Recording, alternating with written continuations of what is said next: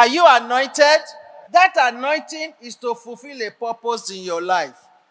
That anointing that God has given you is for you to make progress.